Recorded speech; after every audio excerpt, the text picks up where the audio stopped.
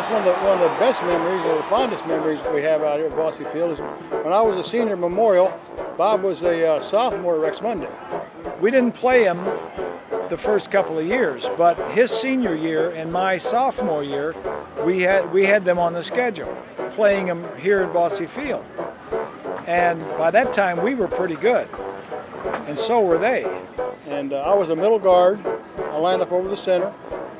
And the first play of the game, you don't run a quarterback sneak the first play of the game unless your brother is on the other side of the line. And so all week uh, at home, you know, he knows that he's practicing after school to play me, and I know that, you know, I'm practicing to play him. So the first play of the game, we come up to the line of scrimmage, and he's the nose tackle who lines up defensively on the center, and I could almost reach over and touch him. My mother was sitting on the 50 yard line with a gold and white pom pom in one hand and a blue and white pom pom in the other.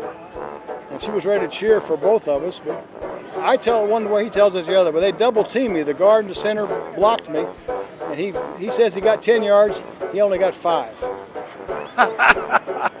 if he wants to tell you that, I'll let it go. But we did gain 10 yards. Snapped the ball. We ran a quarterback sneak.